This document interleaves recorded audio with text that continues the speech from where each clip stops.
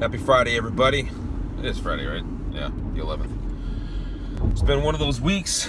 Um, been been pretty good actually. Got a.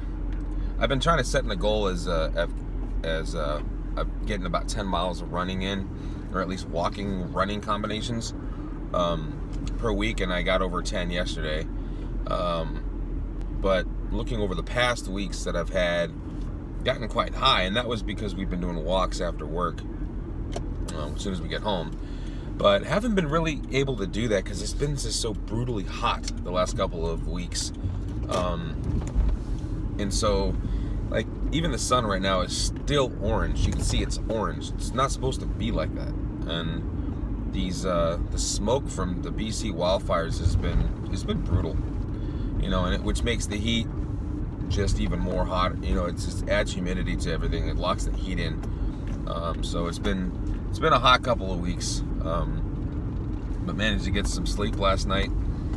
Uh, so for the Mariners, one of uh, toughest games to kind of handle yesterday as a fan. You get mediocre, you get pretty much no offense for seven innings. And you get eighth inning, they come back, two shots. You get Segura hits one, you get Cano gets on, and Cruz hits a two-run shot to tie it in the eighth. Then you stick in Edwin Diaz in a no tie and a no save situation, and he gives up a gives up a you know bases clearing double to arguably one of the best players in baseball today. And then before all this happens, you take the one pitcher that you have um, that you can pretty much depend on to go out there and give you a quality start every time, and he leaves with a pectoral injury. James Paxton. So it's just been, I mean, now we have the original rotation from the beginning of the season. Um, nobody is left in that rotation. They're all on the injured injured list, and so now we have five guys out there that you know. it's been a, it's been one of the most unbelievable seasons as a Mariner fan. It's like one injury after the other, but we're still in the hunt, which is weird. Um,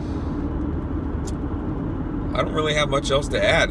Um, I want to try to hike this weekend, but with the this haze that's been smoke that's been surrounding us for the last two weeks, it's you're not going to get any views, um, and the air quality hasn't been the greatest either. So, uh, not sure if I'll be able to get a hike in this weekend or not. Uh, but we are going to Edgar Martinez retirement uh, tomorrow night. That'd be an awesome thing. Uh, you know, a year ago today, we're well, almost an exact year ago. Uh, I was at the Griffey um, ceremony because I was at, I was actually at the Baseball Hall of Fame for his induction ceremony, which was really cool.